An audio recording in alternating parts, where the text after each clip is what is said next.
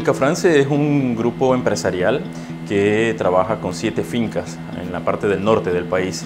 Eh, tienen una, como un holding que es quien, quien coordina las siete fincas y, eh, y, en las siete fincas se producen café.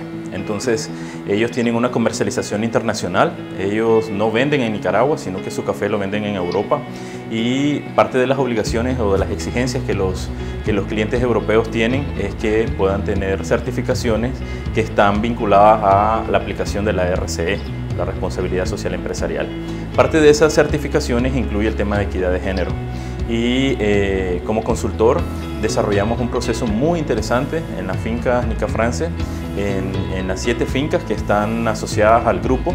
Eh, una de las cosas que encontrábamos y que las gerencias no, nos, hizo la, nos hizo el comentario es que habían puesto a una mujer capataz para que coordinara digamos, el grupo de colaboradores eh, o de cortadores de café.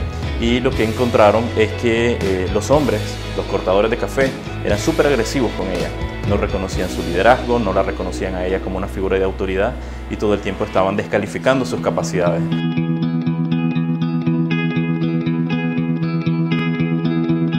Lo que sucedió en la finca fue que eh, no había un reconocimiento hacia ella y por otro lado ella tuvo que asumir eh, características de liderazgos tradicionales masculinos. Entonces teníamos que la mujer estaba siendo agresiva, agresiva con otras mujeres, eh, hacía comentarios un, poco soeces y bueno, parte del trabajo que, desarrollamos con ellos fue trabajar y hablar sobre el tema de la violencia y del acoso dentro de la finca.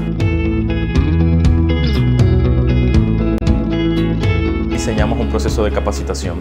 Realizamos varias capacitaciones eh, con grupos mixtos, donde estaban las mujeres y estaban los hombres, y hablábamos de las situaciones de, violencia y, por qué se daban estas situaciones, qué estaba pasando, eh, cuál era el origen de, la situación de violencia.